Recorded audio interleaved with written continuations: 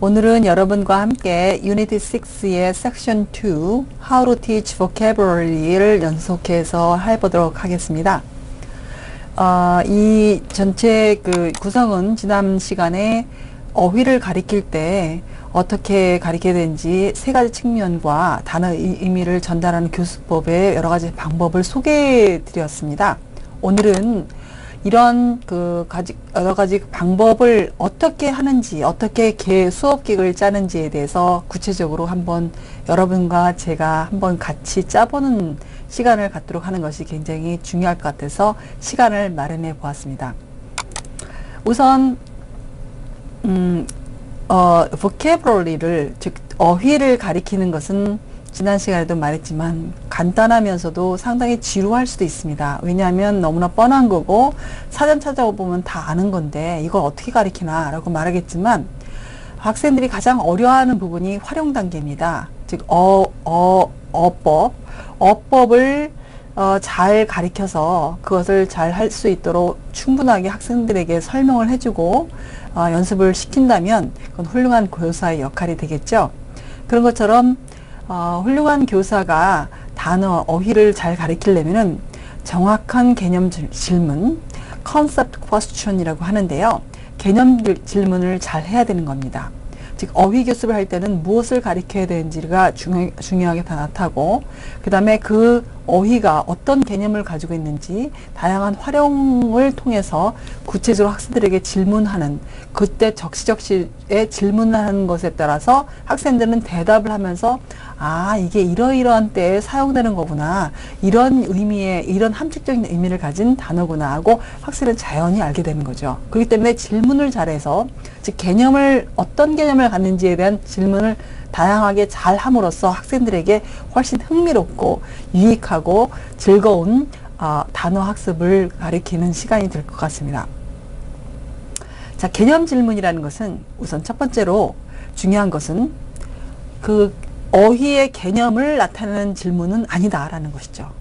즉 새로운 의, 어휘가 나타나면 그 의미를 설명한 뒤에 학생들이 잘 이해하고 있는지를 체크하기 위한 질문이다. 라고 생각해 두시면 됩니다. 그냥 개념 질문이라는 것은 어떤 것을 쭉 개념, 그 어휘의 개념을, 의미를 설명하는 것이 아니고 학생들이 그 어휘에 대한 개념을 잘 이해하고 있는지를 체크하기 위한 질문이다라고 생각하시면 되는 거죠. 한 예로서 slender라는 어, 단어를 우리 지난 시간에도 했는데요. 이것을 보면 날씬하다, 그다음에 좀 날, 어, 매력적인 것이 뜻이 있고 또 여자를 의미한다라는 것도 있지만 이것을 어떻게 질문을 하면 이 세 가지를 다 의미를 알아낼 수 있는지를 교사는 생각해 봐야 되는 거죠. 그래서 어떤 식으로 질문을 하면 이게 날씬하다, 여성을 의미한다, 그 다음에 긍정적인 의미를 나타내는 것을 어, 어프로치하기 위한 질문을 하는 것이냐를 물어보면 되는 겁니다. 예로서는 바로 이런 게 있습니다. 우선 어, 슬렌더 날씬한 거하고 반대되는 하나의 그 누구나 다 아는 캐릭터가 있죠. 산타 클로스. 그죠? 어, is Santa Claus slender? 하고 물어봅니다. 그러면 학생들이 no 하고 대답하겠죠.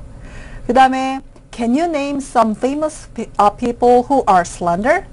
이렇게 물으면 can you can you name some famous people who are slender? 날씬한 사람 혹시 그 얘기해 볼 수 있어요?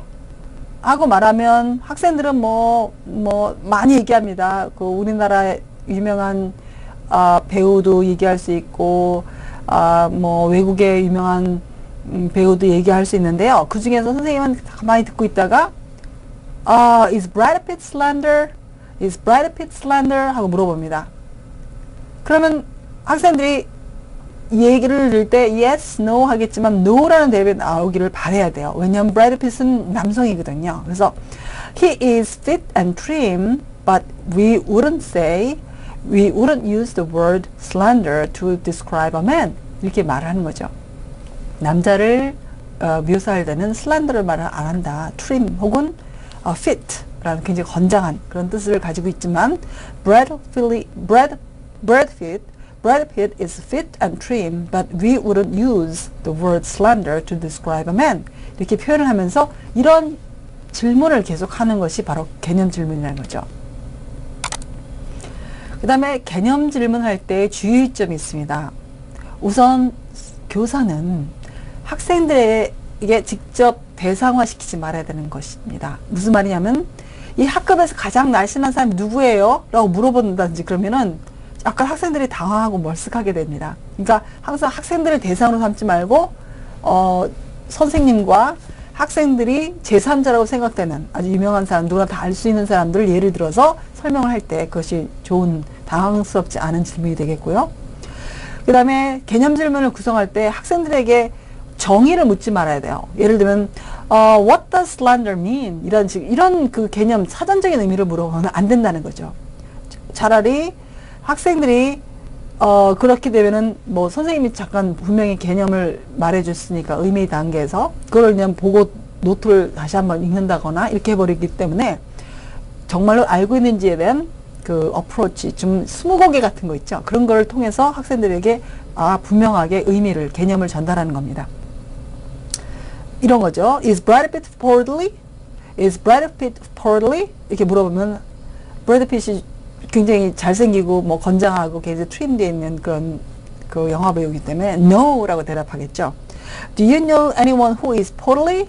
Can you describe them? 하고 말하죠. 그러면 선생님이 그렇게 물어보면 학생들이 뭐, 뭐, 누구누구 있고, 어떤 사람이다, 어떻게 생겼고, 뚱뚱하고, 뭐 이렇게 얘기를 할 때, how, how do men become portly? 어떻게 해서 그럼 남자가 뚱뚱해지나요? How do men become portly? 이렇게 얘기하면 학생들이 뭐, uh, they eat too much, 뭐, they don't uh, exercise, they drink too much, 뭐 이런 식으로 설명을 쭉 하면은, 아, 젊었을 때는 날씬하고 트림돼 있고 피트돼 있는 몸집이 나이가 들면서 중년 이상 될 때 점점 포를 해주구나. 즉 어느 정도 연령의 어, 사람을 대상을 의미하는구나 하고 그 의미도 정확히 알게 된 거죠. 그런 식으로 하나하나 접근을 하면서 학생에게 설명과 예문을 정확하게 표현을 할 때 그걸 바로 개념 질문이라고 합니다. 그다음에 학생들의 이해도를 점검할 때요. 어, 이거는 개념 질문에서 또 한 가지 이제 예를 들는데요. banana라든지 ripe라든지 sugar 어, supermarket라든지 aisle 같은 단어가 있다고 칩시다. 개념 질문에는 banana 같은 경우는 이렇게 말하죠. What color is banana? banana. What color is banana? 이렇게 물어볼 때 학생들은 yellow라고 말을 하게 됐습니다. Where the bananas grow? 어디서 자라나지? Where the bananas grow? Uh, in tropical areas, on trees, 뭐 이런 다양한 대답이 있을 것이고요. Where can you buy but Where can you buy bananas? Where can you buy bananas? 라고 물어보면 학생들은 uh, in a supermarket, in grocery store 뭐 이런 식으로 대답을 많이 하게 되는 거죠. 그래서 아, 바나나는 어, 이렇게 생겼고 색깔이 뭐고 이렇게 설명하는 것보다 선생님이 거꾸로 질문을 하면 학생들이 대답을 하면서 아 맞아 맞아 이거지 하고 개치 개, 개, 확인하고 선생님은 학생들이 잘 알고 있는지 체크하는 거 확인하는 거 학생은 다시 한번 아는 것을 자기가 몰랐던 부분을 같이 정리하면서 구체적으로 잘 알게 되는 거죠. ripe 같은 경우도 그렇습니다. Show students picture of a rotten banana and a picture of ripe banana. 그래서 잘 익은 거하고 시커멓게 썩어 있는 바나나를 보여주면서 비교를 하게 되는 거죠. 그리고 물어보는 거죠. 어, which banana is ripe? 하고 물어봤을 때 학생들은 노랗고 말랑말랑하게 잘 익은 거하고 that banana is ripe, but the other one is rotten. 이렇게 얘기를 하는 거죠. Do you rather eat a rotten banana or ripe banana? 아, 썩은 바나나 좋아요? 잘 익은 바나나 좋아요? 아까 물어보면 학생들은 ripe banana, ripe banana 라고 대답을 하겠죠.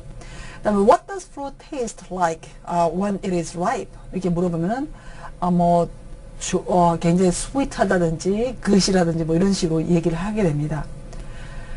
음, 다음에 예로서는 슈퍼마켓에 관해서 예를, 예를 드리겠는데요.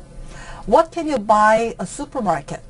What can you buy in supermarket? 이렇게 물어보면 학생들은 뭐 fruit도 산다, meat도 판다, 그다음에 cheese, milk, 뭐 banana 다 얘기하겠죠. 그다음에 또 Can you name some uh, supermarkets in your city? Can you name some supermarkets in your city? 라고 물어보면서 어, 너네 동네하고 너네 어, 도시에는 어떤 슈퍼마켓가 있냐? 라고 말할 때 학생들은 뭐 대, 대단히 말하겠죠. 미국 같은 경우는 뭐 타겟라든지 아니면 뭐 어, marketplace라든지 이런 식으로 얘기를 많이 할 거고요. 한국 같은 경우는 e-mart 뭐, 아, 뭐 이렇게 대답을 할 것입니다. 그다음에 aisle 같은 제목 단어에는요. How many aisles? How many aisles are you in supermarket? How many How many aisles in supermarket? 이렇게 물어보는 겁니다. How many aisles in this supermarket? 이 슈퍼마켓은 어, 복도가 몇 개나 있는 거죠? 하고 학생들은 하면 뭐 세어본다든지 아니면 many라고 대답을 할 수 있는 거죠. 그다음에 what are some of different aisles in supermarket?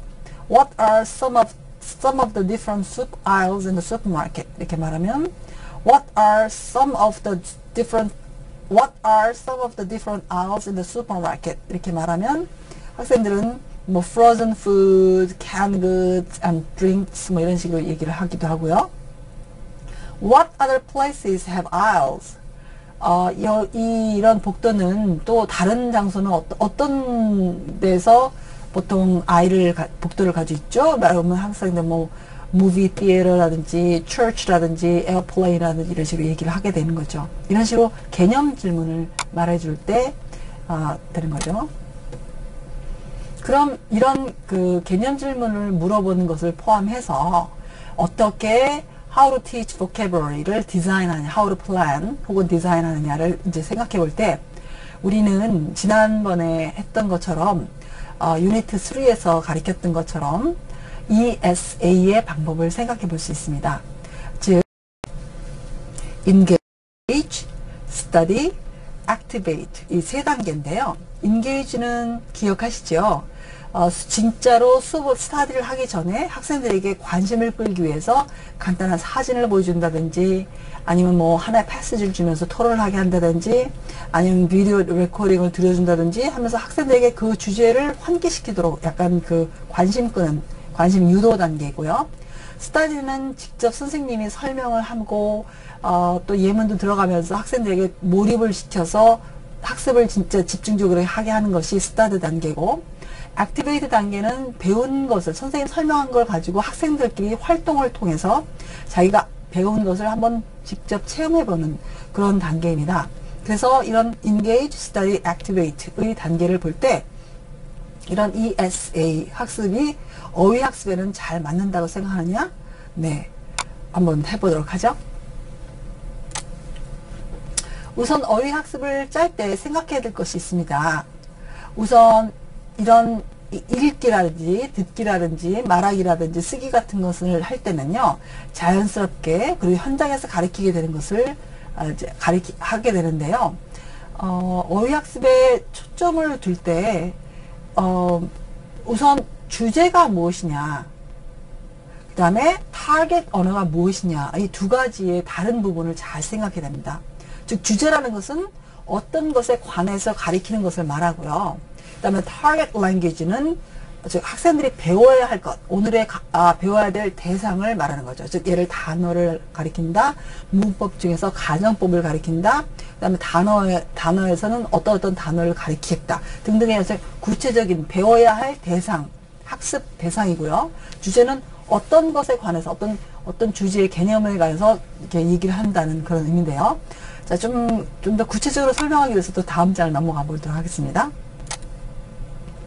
우선 주제를 알면 학생들에게 어떻게 유인하게 될지를 잘 알 수가 있어요. 즉 학생들에게 관련된 사진을 보여준다거나 아니면 노래를 부르게 한다거나 아니면 짧은 토론으로 시작을 하는 경우가 있는데요.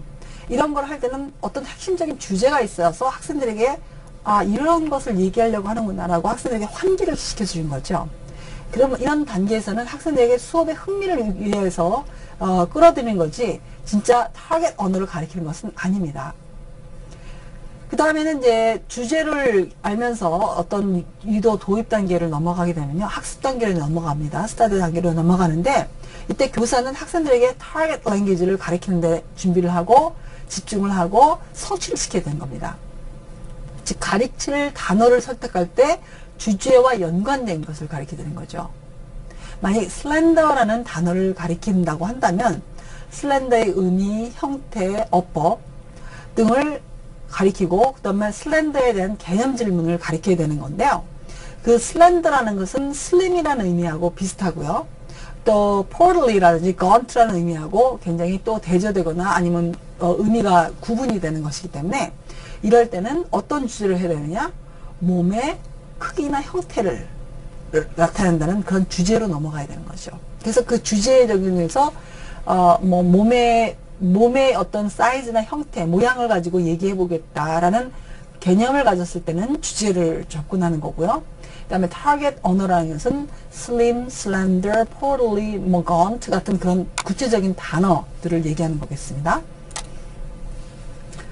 그래서 학생들이 각 단어를 이해하고 되면 그 다음에 학생들에게 어떤 어, practice를 시키는데요. 그런 practice가 상당히 controlled, controlled activity, controlled activity를 시키 하는 그런 단계가 학습 단계, 활용 단계가 있겠습니다. 이 활용 단계는 어, 다양한 것도 있지만 꽤 통제된 것도 있고요. 덜 통제된 방법이 있는데요. 예를 들면 괄호 넣기를 한다든지 그 다음에 연결, 개념 연결하는 단어하고 뜻을 어, 연결하는 개념 crossword 그 다음에 퍼즐 게임 그다음에 뭐 단어 연결하기 뭐 등등 또 빙고 게임 등등 다양한 그 있고요. 그다음에 덜 통제된 방법에는 학생들이 스스로 한번 써본다든지 활용을 해본다든지 자기의 personal story를 얘기한다든지 하면서 그런 아이디어를 교환하는 그런 방법도 있겠습니다.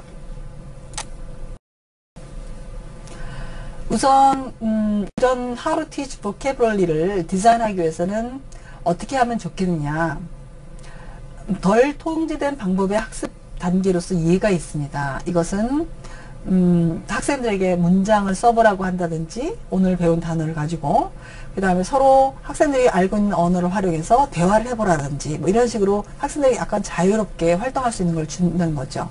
뿐만 아니라 역할놀이를 한다든지 아니면 토론을 한다든지 논쟁을 하도록 학생에게 큰 주제를 주면서 그들이 활동할 수 있도록 내버려 두는 거죠. 그러는 관계 속에서 과정 중에서 교사는 학생들을 돌아다니면서 교실 곳곳을 돌아다니면서 학생들이 어떤 얘기를 하는지 잘 들어보고 그다음에 노트하게 하고 또 선생님이 잘 지도를 해주는 것이 굉장히 중요하겠습니다. 수업에 대한 예시를 하겠는데요. 어, 우선 외모에 관한 주제로 한번 얘기를 해보죠. 주제는 외모고요. 타겟 언어는 slender, slim, gaunt, trim, portly 이렇게 한 다섯 가지 단어를 가리킨다고 생각해 봅시다. 일단 수준은 어느 정도 수준인가? 상위 초급자긴 한데 약간 소, 상위 초급자고요. 그 다음에 기초반이다. 이렇게 대상을 정하고 나이는 뭐 한 대학생 정도의 그 정도의 젊은이라고 생각하는 거죠. 시간 한 30분 정도 가리킨다라고 계획을 디자인을 짰을 때 어떻게 ESA의 단계를 밟아가면서 How Teach Vocabulary 학습, 어휘 학습을 하는지 한번 보도록 하겠습니다. 어휘 학습을 할 때는 게임을 하는 것도 있겠습니다. 처음에는 어떻게 참여 유도, 인게이지를 시키느냐 학생들에게 일단 퍼즐 게임을 하는 거죠. 스무고개 하는 거서 Who am I? Who am I? 따따따따따따따 Let me know. Who am I? Who am I? 하면서 선생님이 아주 즐겁게 노래를 한다든지 하면서 관심을 끌면서 내가 누군지 말해보세요. 라고 하면서 학생들에게 나는 어떤 외모를 가진 사람이다 라고 접근하기 위한 하나의 그 제스처를 쓰는 거죠. 그래서 Are you a man? Are you an actor? 하고 학생들이 항상 이렇게 물어보면서 스무고개식으로 하면서 I, I am a 뭐라고 질문을 할 수 있도록 얘기를 해주는 것입니다. 이런 유도 단계는 굉장히 재밌지만 한 가지 주의할 점은요. 여기 있는 학생들이 다 알 수 있는 대표적인 사람을 정해야 되는 거죠. 누구는 알고 누구는 모른다거나 아니면 그렇게 유명하지 않은 사람들은 잘 모를 수 있기 때문에 그런 것만 주의해 주면 됩니다. 그 다음에 이제 직접 가르칠 때는 수업을 이제 외모라는 수업을 해서 가르칠 때는 학습 단계는 어떻게 하는 게 좋은가 한 그것을 가장 많이 잡아야 되겠죠. 유도 단계가 한 5분 정도로 친다면 학습 단계는 15 내지 20분, 전체 30분 중에서 15 내지 20분 정도를 주고요. 교사는 칠판에다 이제 씁니다. slender라고 그 단어를 쓰면은 발음은 slender, slender 이렇게 발음하고 스펠링은 S-L-E-N-D-E-R 그리고 이건 형용사고 날씬하고 가느다 뭐 이런 의미를 의미한다고 의미도 써주는 거죠. 그리고 학생들이 발음 한번 따라하도록 한번 해보는 거죠. 그리고 교사가 강조할 것은 slender is an adjective that means uh, in an attractive way 하고 말하면서 약간 음, 긍정적인 의미다. 그리고 굉장히 매력적인 의미를 말할 때 slender라는 걸 의미한다라고 얘기를 해주는 거죠. 그리고 여자를 지칭한다는 거 Julia Robert is very slender 라고 얘기하는 거죠. But Robert Pitt is not slender. We just say he is fit and trim 라고 말하는 거죠. 그 다음에 교사가 칠판에 예문을 쓴다든지 그 다음에 개념 질문하는 거죠. 예를 들면 이런 거죠. 어, 티처가 이제 산타클로스를 딱 보여주면서 uh, Michael, can you say it? Uh, is Santa Claus slender? 하고 물어보면 학생이 no 하고 마이크가 no Santa Claus is not slender 하고 말하죠.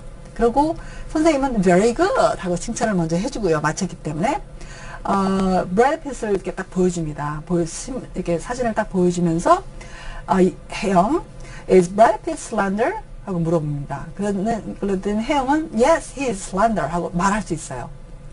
근데 티처는 그때 아 얼굴을 찡그리지 말고 웃으면서 He is thin, but are you sure he is slender? Uh, can anyone help 혜영? 하고 부드럽게 회유 정책을 쓰는 겁니다. 그런데 옆에 히로라는 친구가 있을 때 Brad Pitt is not slender because he is a man 하고 선생님이 약간 설명했던 걸 기억하면서 얘기할 수 있겠죠. 그럴 땐 티처는 excellent 하고 질문을 해주, 칭찬을 해주고요. 그 다음에 does anyone have any questions? 하고 물어보는 거죠. 그렇게 되면 학생이 스스로 자기가 A라는 학생은 알았고 B라는 학생은 몰랐고 해서 서로 알게 된 것을 교환, 의견, 정보를 교환하면서 학생들은 스스로 개념 질문을 통해서 충분히 다 알게 되는 거죠. 그래서 학생들이 완전히 다 알 때까지 교사는 충분히 많은 개념 질문, 개념 질문을 하는 것이 중요하다라는 것이고요. 그다음에 사진이나 그림을 보여주면서 한다든지 아니면 동의어나 반대어를 보여주면서 한다든지 이런 각각의 독, 독한 독특한 테크닉을 쓰면 되는 겁니다. 한 단어를 가리킬 때는 한 두 가지 정도의 그 혼합 교수법을 가리키는 게 굉장히 좋습니다. 그 다음에 이제 어떻게 수업을 또 활동하게 하느냐, 연습을 어떻게 하느냐. 지금 여기 본 것처럼 슬렌더라는 거하고 이 1, 2, 3, 4, 5 중에서 찾아보는 거죠. 어, 이거는 바로 음, 어떤 의미냐? thin in an attractive way used to describe woman. 그래서 이거하고 이거를 이렇게 연관 짓겠죠. 이런 식으로 해서 연관 짓도록 하게 하는 거죠. 교사는 이런 어, 워크슛을 나눠주고요. 돌아다니면서 애들이 잘 하고 있는지 또 커닝은 안 하고 있는지 한번 작하면서 도와주는데 적극적으로 어, 차별을 해야 됩니다. 그 다음에는 모습을 디자인할 때는요. 우선 외모에서 외모를 할 때 활동 단계가 있는 거죠. 어, 활동 단계는 우선 그룹을 지어서 할 수도 있고요. 그 다음에 짝을 지어서도 할 수 있습니다. 어, 그룹을 지어서 할 때는 한 유명 인사를 마음속에 정하고 다른 학생들은 그 학생이 스무 곡을 질문하고 다른 나머지 학생들은 그 스무 곡에 대답을 하면서 질문을 계속하면서 그 한 학생이 마음에 품고 있는 것을 대답하게 하면 되고요. 짝을 지어서 할 때는 어, 묘사하면서 그려보기 같은 것도 있겠습니다. 그래서 describe and law 같은 것을 하면서 한 학생이 묘사를 하면 다른 학생은 어, 그대로 그림을 그림 말로서 표현을 하면 그림을 그리는 것도 하나의 좋은 수업 활동이 되겠습니다. 학생들이 뭐 활용 단계에서 어떤 활동을 하든지 간에 학생들은 타겟 언어에 초점을 두어야 되는데요. 커뮤니케이션에 초점을 둔다고 너무 생각하시면 안 되는 게 커뮤니케이션을 하면서 타겟 언어를 충분히 활동할 수 있도록 어, 사용할 수 있도록 교사는 아주 꼼꼼하게 계획을 해야 된다는 거죠. 그리고 교사는 학생들이 이런 액티베이트를 할 동안에는 교실을 돌아다니면서 어떤 점에 문제가 되는지 그리고 이 활용 단계에 어떤 점들을 학생들이 더 좋아한다든지 이런 것을 잘 유심히 봐뒀다가 노트를 하면서 수업 진행에 관해서 쭉 꼼꼼하게 체크를 하게 되면 다음번에 수업 계획을 세울 때 훨씬 활용되겠습니다.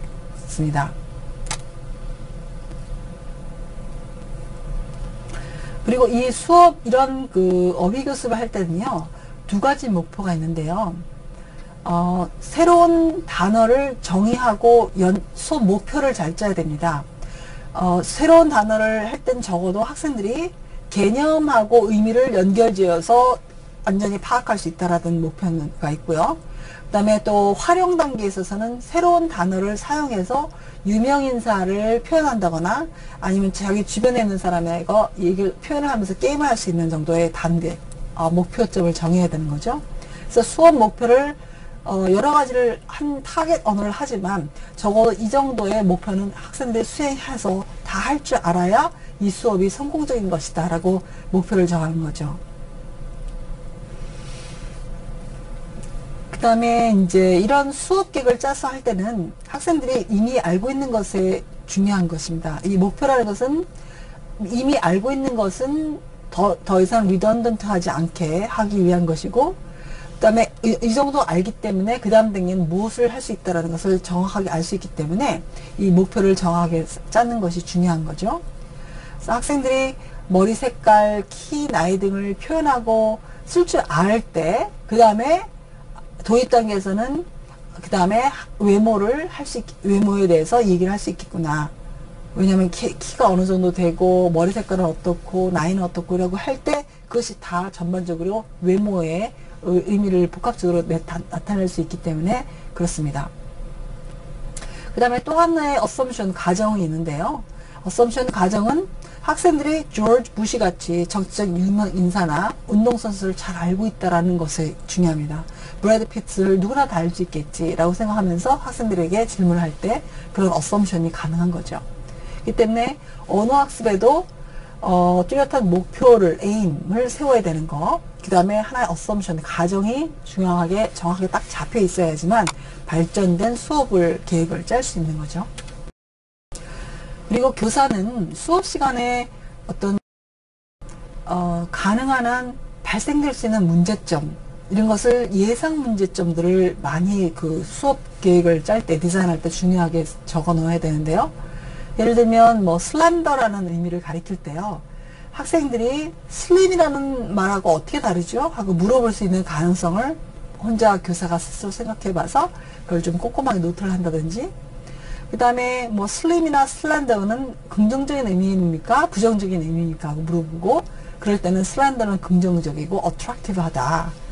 그 다음에 slim은 대신 스키니 같은 것은 좀 아, 해골 같은 것을 연상시키고 부정적인 의미를 나타낸다라는 어, 것을 얘기해 준다든지 병약하다든지 뭐 이런 것을 대조하면서 가르칠 수 있는 예, 어, expected, expected questions, problem들을 꼼꼼하게 디자인해 놓은 것이 중요하겠죠. 그 다음에 이제 수업에는요, 어, 디자인할, 수업 계획을 디자인할 때는 어, 필요한 것이 무엇인지, materials가 무엇인지를 좀 잘 생각해야 됩니다. 물론 선생님은 판서를 통해서 하겠지만 학생들에게 훨씬 더 많은 시선을 끌기 위해서는 알파벳을 뭐 그림으로 오려가지고 붙여가지고 단어를 slender라는 것들 S를 픽업하고 그다음 L을 픽업하고 E자를 픽업하고 뭐 이런 식으로 해서 쭉 단어 조합을 통해서 스펠링을 한번 맞춰본다든지 아니면 발음 기호가 나타나는 and, slender 할 때 n은 어떤 그 발음 기호를 갖는지를 한번 여러 가지 모음 중에서 픽업할 수 있도록 뭐 모형의 어떤 것을 만들어 놓는지 이런 식으로 활동 자료 같은 것을 준비해 놓을 수도 있고요.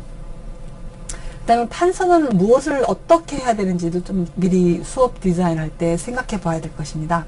칠판에는 많은 것을 쓸 필요는 없죠. 즉 형태라든지 아니면 의미라든지 활용법의 간단한 예를 좀 쓰면서 학생들에게 어, 슬렌더하고 슬림의 차이점을 정확하게 묘사할 수 있는 한두 정도의 그 딱 키포인트만 적어놓는 것도 굉장히 유용하겠습니다. Julia Robert is slender 라든지 uh, Brad Pitt is trim 이라든지 뭐 이렇게 비교를 하면서 아 남자는 trim이고 여성은 slender라는 표현을 하구나 하고 알 수 있도록 해주는 거죠. 그 다음에 어, 이 수업 그 어휘를 가리킬 때는요. ESA라고 해서 Engagement, Study and Activity 어떤 그 서연 단계의 세 가지 단계를 활용해서 가르칠 수도 있지만요. 또 이 뭐 MFP 시트라고 해가지고요. 아, MFP 시트를 짜는 것도 굉장히 중요합니다. 즉 처음에는 단어를 쓰고요. vocabulary 지금 얘기하고요. 그 다음에 어떤 형태를 가지는지 form을 쭉 나가고 의미를 쓰는 칸을 만들고 그 다음에 어법, 활용법을 얘기하고 그 다음에 example sentence를 좀 적어본다든지 그 다음에 concept question 여기에 해당되는 질문이 어떤 것들이 있겠냐 하면서 쭉 리스트를 작성해서 써주면 특히 어휘를 가리킬 때 어, 이 MFP 시트는 굉장히 중요한 겁니다. 그 다음에 또 다른 예시를 한번 들어보겠는데 여태까지 뭐 외모를 했다면 이번에는 직업에 관한 그 저기를 가르쳐 보겠다라는 의미에서 직업을 나타내는 뭐 lawyer, doctor, nurse, chef, 어, salesperson 뭐 이런 이렇게 다양한 직업을 쭉 한번 나열해 보고요. 이 수준은 어떤 수준일까를 좀 생각해 보는 거죠. 그럴 때 어, 역시 기초반은 아니고 약간 중 intermediate지만 약간 lower lower intermediate 중저급 기초반이면서도 약간 중저급에 해당되는 완전히 기초반 beginning class가 아니라 lower middle class로 한번 잡아봐야 되겠다 하고 목표를 정하는 거죠. 그 다음에 시간은 어느 정도인가 음, 한 30분 정도 해야 되겠다 라고 하면서 직업을 다양한 직업을 가리키는 음, 어휘 학습을 해보도록 하겠습니다. 우선 도입 단계에서는 한 5분 정도를 어, 할애를 하는데요. 이 단계에서는 학생들로 하여금 어, 직장 인터뷰에 참여하는 role 역할을 시키는 겁니다. 자기가 이제 내가 만약에 의사인데 의사가 어떤 식으로 인터뷰를 하는지 내가 lawyer라면 어떤 식으로 인터뷰를 하는지 이런 어떤 사람 인터뷰를 하는 사람이고 어떤 직업을 apply 하는 사람으로 role을 나누어서 파트너끼리 한번 요 role 역할 놀이를 해본다든지 이런 것들이 하나의 도입 engagement 단계이겠고요. 그 다음에 학습 단계로 넘어가면 이 단계에서 교사는 단어를 어, 소개하고 의미를 내 의미를 얘기하고 토론하면서 형태와 용법을 자세히 설명하고 예를 들어야 될 필요가 있습니다. 이럴 때는 어, 단어는 직업을 나타내는 하나의 명사, 명사, 명사, 명사이기 때문에 특별하게 뭐 어법이라든 활용법이 있을 수 없어요. 그래서 학생들에게 그 의미를 정확하게 하는 일이 무엇이며 어떤 때 필요하고 뭐 이런 것을 좀 토론하고 생각해 볼 수 있도록 한번 재미있게 수업 구성을 짜보는 것도 좋습니다. 예를 들면 어떤 controlled practice의 어떤 하나의 방법으로서 학생들에게 이렇게 몸을 이렇게 마임이라고 그러죠. 몸짓을 통해서 의사가 하는 행동을 보는 거죠. 안경을 이렇게 커다란 그 쓰고 자세히 볼 수 있는 확대경을 쓰고 쳐다보면서 막 수술을 한다거나 아니면 치료하는 모양을 보여주면서 Who am I? 하고 물어보는 학생들은 Doctor 하고 대답을 하고요. 그 다음에 lawyer 같은 경우는 뭐 보면서 판단을 하고 어, 조치하고 쓰고 뭐 누굴 센텐스 내리고 하는 그런 것을 보여줄 때 아, 저 사람은 러여구나 라고 말하거나 주어치구나 라고 말할 때 학생들이 그 마임을 통해서 잘 알아낼 수 있고요. 이런 각각의 그런 어, 마임, 흉내내기를 통해서 그런 연습을 통해서 학생들에게 정확한 직업의 개념을 음, 설명할 수도 있습니다. 그 다음에 이제 활용 단계로 넘어가게 되면 액티베이트 단계에서는 이것도 역시 직업을 나타내기 때문에 뭐 활용하는 것이 그렇게 뭐 많지 않아요. 그렇지만 재밌는 방법이 있습니다. 어, 선생님은 생각하기에는 어, 우리가 지금 문명사회에서 아, 굉장히 다양한 직업이 많다. 그리고 점점 현대사회로 넘어오면서 직업이 새로운 직업군이 생기고 다양한 직업이 생기는데 만약에 what if you are just alienated in a alienated island 너희가 만약에 외딴 섬에 혼자 뚝 떨어져 버린다면 what happened to you? Who is gonna be the survivor of the fittest? 누가 가장 어, 살아남는 사람이 될 것이냐를 한번 가정을 해보는 거죠. 그럼 학생들이 학생들에게 너는 의사를 해라, 너는 lawyer를 해라, 너는 뭐 salesperson 해라 이렇게 쭉 역할을 주고요.